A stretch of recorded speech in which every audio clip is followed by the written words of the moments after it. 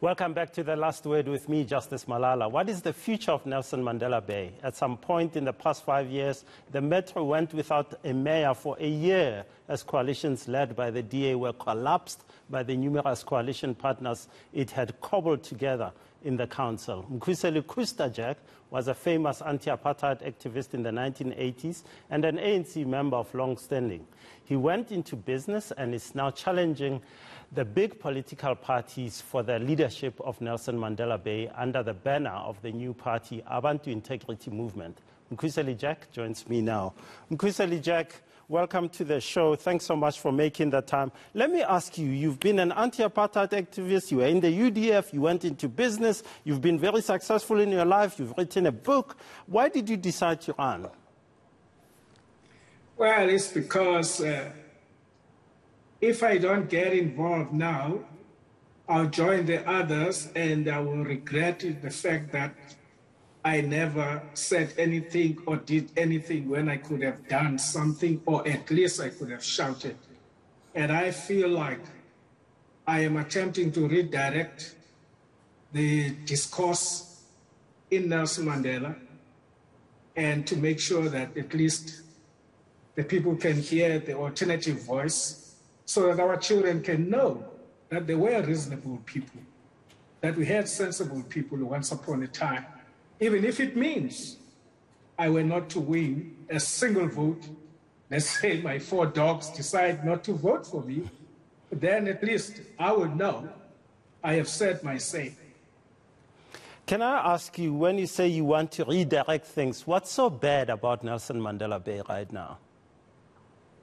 Nelson Mandela is broken, broken by African National Congress over a period of 27 years, and accelerated that destruction by the DA in the last five years.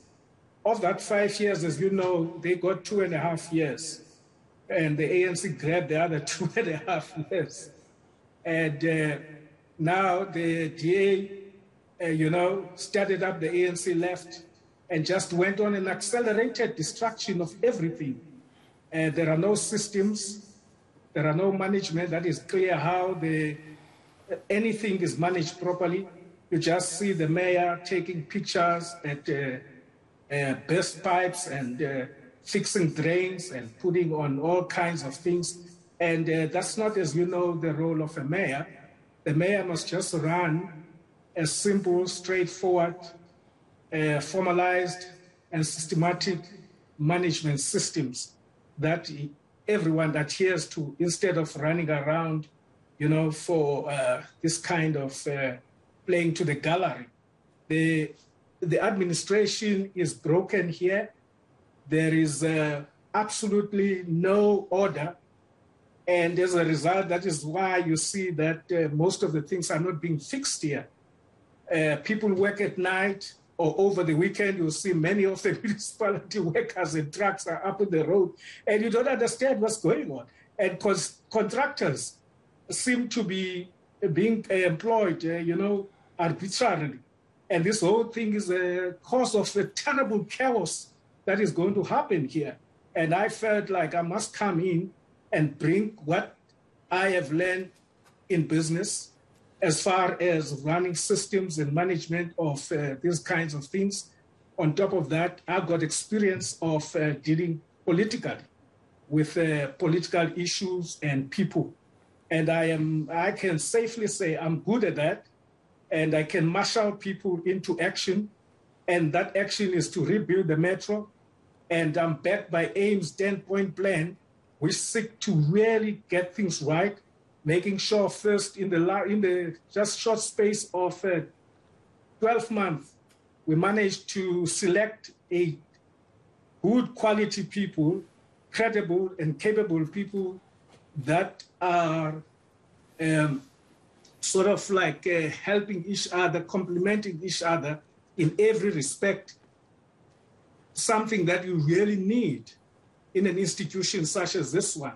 So we are ready on day one if the voters of Nelson Mandela Bay give us that mandate which we need so desperately. Let me challenge last... you. Let me challenge you there. Business people like yourself always think that they have an answer in the political sphere. Uh, um, I remember that, you know, uh, Cope, uh, Agang came along, Dr. Mamphela Ramphele, who's been very successful in the private sector as well, said pretty much the same thing, you know, we can do this, we can do this. But it ends up being a flash in the pan, one. And secondly, it's not necessarily true, as we've learned from, say, Donald Trump, that business people can do better in the political sphere. Can, is that? Yeah, look, first of all, I will say that uh, uh, Dr. Mamphela is our hero and our leader. And I don't think she was brought in into that on the basis of uh, uh, of her business skill. she doesn't fit that. She doesn't fit that. She came because she she's a, a political figure. She was a, a, great leader, as you know. And uh, the issue about uh, a business person, yes, I agree that it doesn't follow the thing is about the character of the individual. These elections really hinges on the character of the people that will lead the metro, not only here but everywhere. South Africans must move now from just uh, choosing people because you like them or, or, or for or some kind of celebrity status. People have to be elected now on the basis that of their character, number one, and their track record. My track record, I mean, you can check it. I excel from day one in my life when I had nothing, I raised myself to go and to reach Port Elizabeth to go to high school. I moved from there, I got involved in politics, as you know, right through up to the end until that liberation we're fighting for was attained. And I went to business. When that liberation was attained, I stepped aside and said, I don't want to be in a public office. I want to be a, a, a what you call a private individual. And Mr. Jack, let me ask you that, that, you're absolutely right about your history. Let me ask you this. One of the reasons that uh, uh, Nelson Mandela Bay is so caught up in itself and so uh, destroyed is because there are so many parties that have contested, and, and essentially you have this uh, hung, hung uh, council where the EFF moves and suddenly you collapse. Why didn't you join one of the bigger parties and say, let me unite these people and let's work together and build a new Nelson Mandela Bay? No, certainly I could have done that. Uh, I would have loved to do that. Uh, but unfortunately, uh, these organizations are so structurally messed up that uh, it will be difficult. The DA have just uh, uh, uh, regressed and moved backwards to the right and competing in the space of the uh, of the uh, AfriForum, whatever. No, sorry, Freedom Front Plus, and the ANC, as you know, is embroiled in corruption and and of course the EFF. Of course, I mean they are angry and they are they are giving out uh, uh, uh, promises that cannot be done. they are meaning good, but unfortunately, because of experience, I think they talk about things that are practically not possible. So I couldn't be caught in that. I had to move in in a pragmatic way with a plan to build the metro, to get it right. And I think the people are listening to our message. And you will see how the people in Nelson Mandela have been caught up into the euphoria of trying really to work this thing of getting the metro back working. And I am ready to drive that. And I am ready to govern the metro properly on day one, set up systems, make sure that there is no interference in the administration by politicians, and make sure that the professionals and and, and staff are people who are employed to do the job that they are employed for and paid for. There will be no such things as a interference and so that the workers are even scared to go to work. it will be a good place to work so that like in any other country where you, you're going to be proud for working for the municipality. Khusta Jack, one last question. Would you go into coalition with the ANC or the DA if you were to win these elections? Well, that's not my wish at all. I hope that the people of Nelson Mandela, because we are coming really with a sensible plan, and they know that I can execute. I execute what I bring forward.